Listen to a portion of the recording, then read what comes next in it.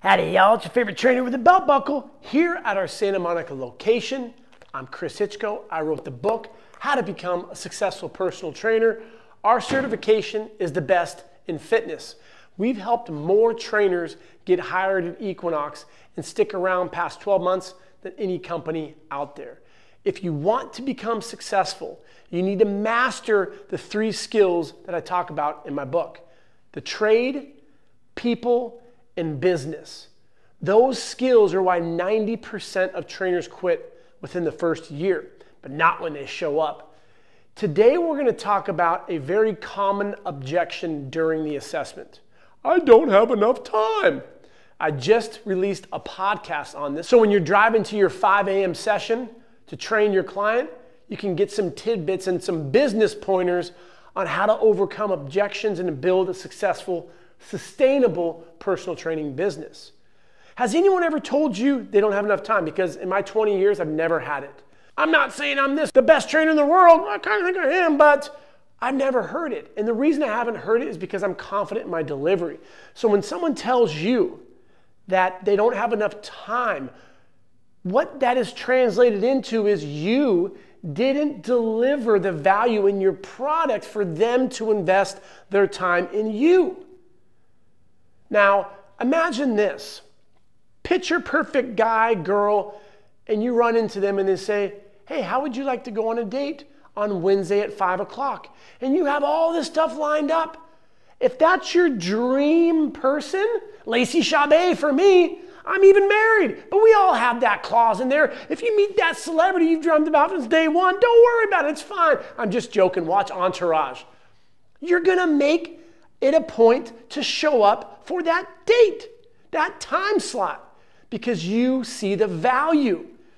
When a client is sitting across from you and you give them the sales presentation, it's sales. Get over it. Learn to love it. I'm obsessed with the sales process. It gets me excited because if the client says no, I smile and I go, awesome. Why don't you want to get in the best shape of your life? I'm really curious. Because I know that when I deliver the product, I'm not thinking about my bank account. I'm not thinking about, does this person want to work with me? Did I do a good job? No, I'm confident knowing that they need me. I'm the best trainer they've ever met. And so if you ever get that pushback, it's time. You need to review that conversation and challenge them in a polite way and say, Awesome, thank you for saying that. So, what I heard was, you don't have enough time to get in the best shape of your life. Is that correct? And then they'll be like, no, um, uh, they're to fumble on their words and say, Mr. Jones, Mrs. James, I understand what you're going through right now. You're scared. There's a lot of stuff on social media, TikTok, all these influencers telling you you got to eat grape juice and have celery with peanut butter to get in the best shape of your life and pig's testicles. It's confusing. But what I'm offering you is your source of fitness and nutrition. And through a period of time, being consistent and overloading appropriately, you're going to get in the best shape of your life. When was the last time you worked with a qualified trainer three times a week for three months and you didn't miss a day? And you smile and you wait.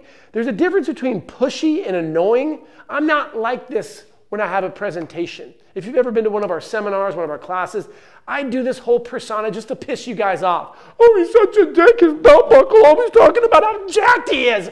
It's because you guys are so sensitive today. In real life, when I have that assessment, I have my clients come in and say, This is our Santa Monica location. How'd you come across Show Up Fitness? Yeah, we have gyms in West Hollywood, La Jolla. We teach trainers online. All of our trainers have gone through the best internship in the nation. And they also have their Show Up Fitness CPT. Did you know the average trainer studies a textbook and calls themselves a professional? Not at Show Up Fitness. So I state the purpose from the beginning. And I feel a lot of trainers miss that opportunity. So I was having a conversation with a kid at Equinox, and he was stretching me out after our session. And he told me that he gets pushed back with the time. And I told him, I said, straight up, dude, it's not that they don't have time, you didn't show the value. You're a young buck, you're 20 years old. You're in your head. I hate it when people say that because we all are. It's the beautiful thing about life. We're in our head, we're alive, we're not in the ground. So appreciate those voices and everything that's going on. It's normal. That's why you learn from people who've been doing it. biographies about General Grant and George Washington and people who have done magnificent things. You learn about their experiences. So your angst during the presentation comes down and you have a conversation. What we talk about in our sales presentation, it's not the ABCs. Always be closing. If you go with that mindset, you're going to be too pushy. Take the following scenario.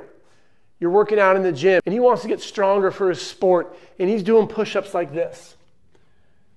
You're not going to mock him. You're not going to be nervous to go give him some advice. You're going to walk up to him, hey, bud, that was some nice push ups right there. What's our goal? Oh, you want to play football? Badass. That's great, man. Here's a suggestion. In football, you don't push like this, do you? No, you get down. Like that, you get down. We push like this.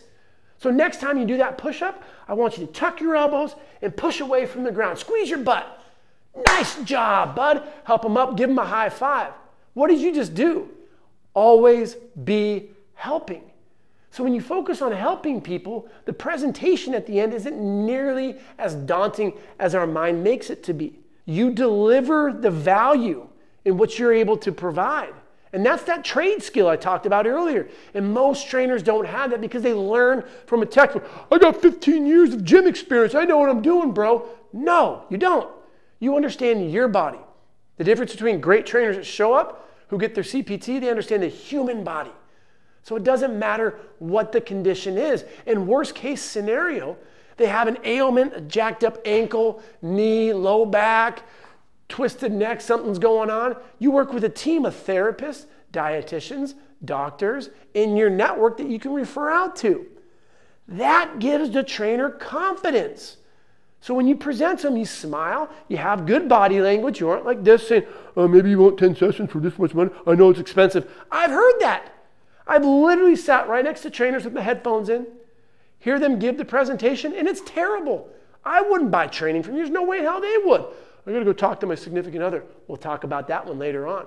Hopefully, you found this video helpful today. We want you to be successful. Don't look at the sales as a daunting task. It's fun. You get to show the value and how great of a fucking trainer you are because you are great.